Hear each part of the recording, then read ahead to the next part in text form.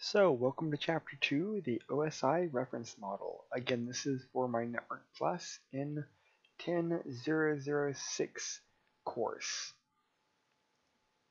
So, foundation topics is we're going to be talking about OSI model. We're going to be looking at the TCP IP stack. And we're going to be talking what port numbers and the corresponding applications are. So, let's dissect uh, the OSI model. First, What's the purpose of a network model? What are the layers? What are the characteristics? How does the TCP/IP stack compare to the OSI model? And what are well-known TC and UDP ports? And what are the given collection of common applications used for those ports? So the first, the purpose of a network model is so that we have a structure.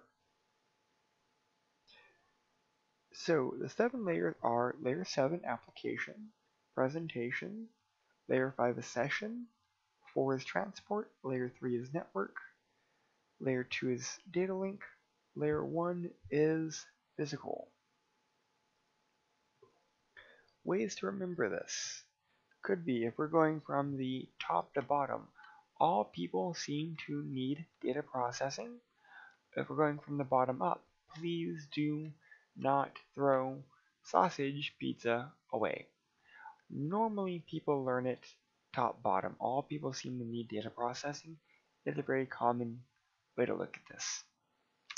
So next, if we're looking at the layers, how do the different layers correspond to different envelopes or different packages?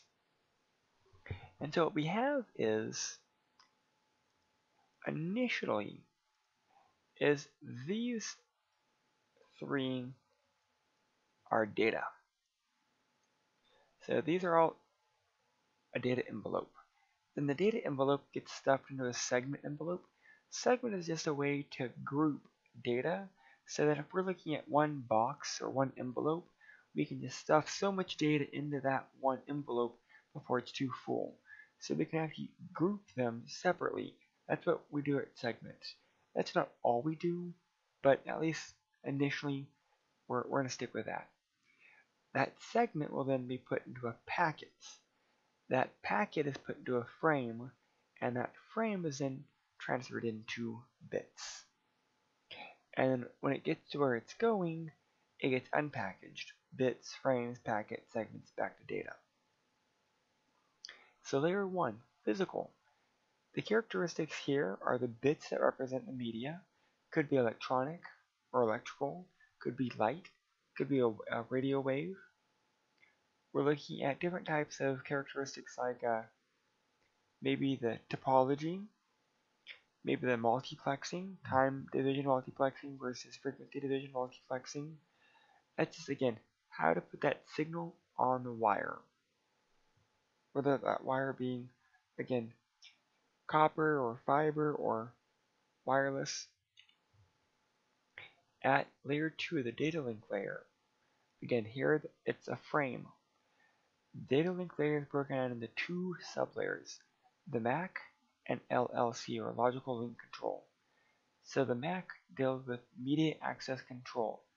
That deals with things like the physical addressing, the topology, transmission method, while the LLC deals with the connection services like flow control or error control maybe synchronization. Layer 3 deals with the network. That's going to be our addressing, our packets, routing, routing protocols, flow control and packet sequencing.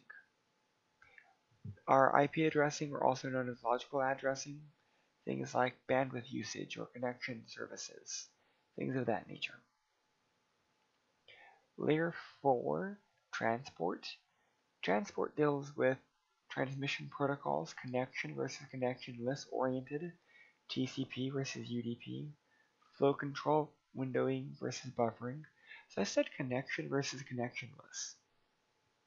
So connection oriented is a guaranteed statement. If I send this packet, you will get it. That's TCP. Connectionless is UDP. So how do the differences work? Is that's part of that flow control. With TCP guaranteed delivery, if a packet is sent and then dropped because of an error, the sender resends it until the actual receiver gets it. In UDP, that's not the case. You try, and it's best effort.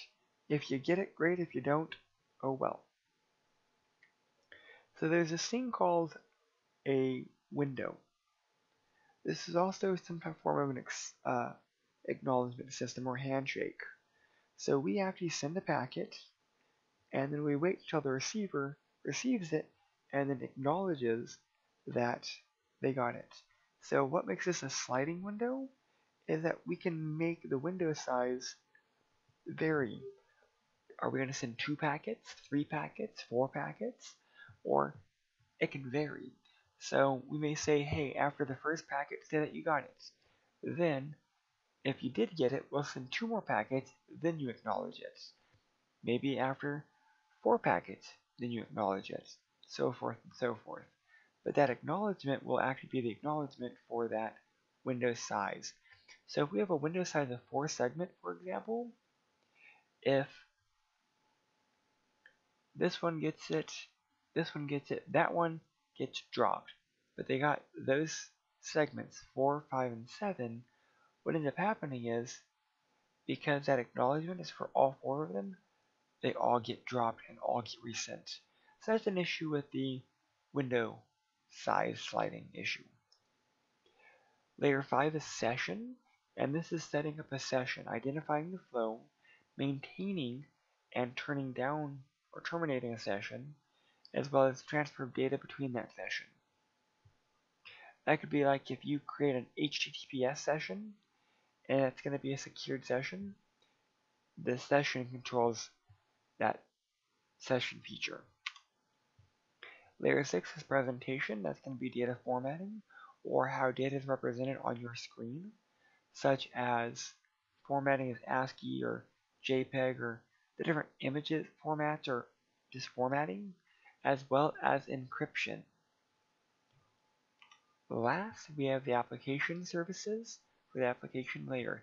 That's actually going to be application like HTTP or HTTPS. That's going to be the specific application service for that specific application. Moving on is our TCP IP stack. Notice here it is just for application, transport, internet, network interface. So how do they compare? Again, pretty similar to OSI. The top three layers are the application, they deal with data. Transport deals with transport, network deals with internet. And here the TCP IP stack, the network interface, deals with our data link and physical networks all together. Okay, so I keep referring this as an envelope. So just like any envelope made in the US, uh, it has a format. Just like our IP has a format. And so this is what a IPv4 packet looks like. So we have all the different groups. So first off, we start off with the version and length and type of service.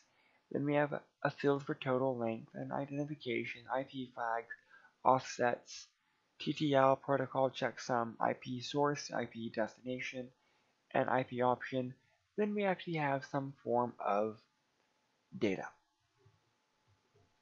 And obviously this is going to be put on an envelope for it to be sent. Here's our TCP segment header. And again, pretty similar. Source, destination, sequence numbers, acknowledgements, offset reserved, the window size, checksum, all of that good information. UDP, again, has its header, source and destination, length, and checksum. Notice no sequence, no acknowledgement, because again, this is connectionless oriented. So what are these ports? A port is a hole or a predefined setting of sorts. For example, if we want to use HTTP, we could say HTTP, but what hole or what port does that use? And how do we set that quite up? So we actually move web traffic on port 80. And essentially that's just a hole. That way if we want to block all web traffic, we can just block port 80 and that stops the flow of web traffic over that port. And so here we have an example of a source and port number and a destination and a port number, as well as the return trip. So this information is being sent to our web server. Here's my IP address. Here's the port number I'm communicating on. Here's the address that I'm sending it to, and this is the port that I'm sending it to. The web server will pick, uh, listen on port 80 and then respond with the appropriate information. The source information is now this guy, because again it's flowing that way. It's returning to port 80 and it's going to that destination address. So some common protocols and ports are for our application could be Telnet, could be SMTP, FTP, or DNS, and these are the appropriate port numbers. Telnet uses port 23, SMTP uses port 25, FTP uses 20 and 21, DNS uses 53. Again, these are TCP ports. While TFTP and DNS use UDP. TFTP uses 69 and DNS uses 53. Again, you're going to notice here DNS uses both TCP and UDP. Both ports are for 53. So port numbers and assignments. There are a lot of port numbers that are pre-assigned. And who are they assigned by? So first of all, there is the IETF, the Internet Engineering Task Force, assigns ports between 0 and 49,151. But how do we how do we refer to these ports? So the first 1024 well-known ports. And those are normally predefined good uh, ports. Then between 1024 and 49151, they're called register ports. And then anything above that are called ephemeral ports. ephemeral mirror ports. I can never pronounce that right. But what are they? So a quick Google search should bring you to some type of common ports. 23 uses for Telnet, 25 for uh, SMTP. We already know that. Port 80 for web traffic, 88 for Kerberos, 123 for NTP. So what are these ports that we're going to have to know? Common ones are 3389 Terminal Services or RDP. Port 110 is going to be for POP. Uh, 1512 for WINS. That's not really that important. But I mean, you want to look through this so that you have a general idea of what ports you're going to be looking for. Because you're looking for POP, you're looking for IMAP, you're looking for things like that that are going to be very common. For example, IMAP is port 143. Again, not everything has to use these ports, these are just common port numbering. And that's actually it for this chapter.